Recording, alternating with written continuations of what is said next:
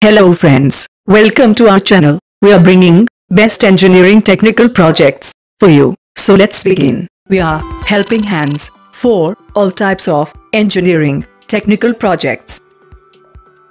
In this video, we will see the project on peanut shelling machine. Manual systems put pressure on people to be correct in all details of their work at all times. With manual systems, the level of service is dependent on individuals.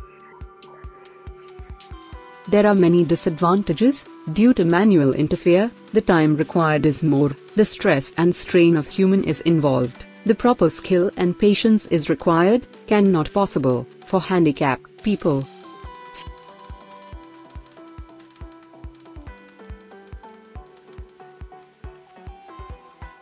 So by observing these problems, we have tried to develop a simple model, that is peanut shelling machine.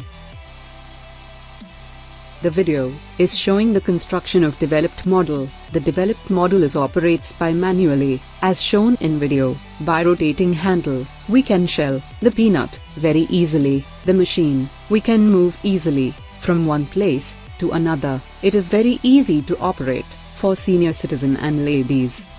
The video The video is showing working of the machine.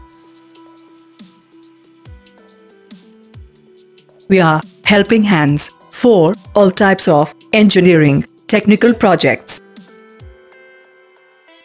Please do not forget like and share the video. Also give comments and feedbacks for our work. Please subscribe our channel and press the bell icon to get more videos updates. Thank you for watching. Stay connected.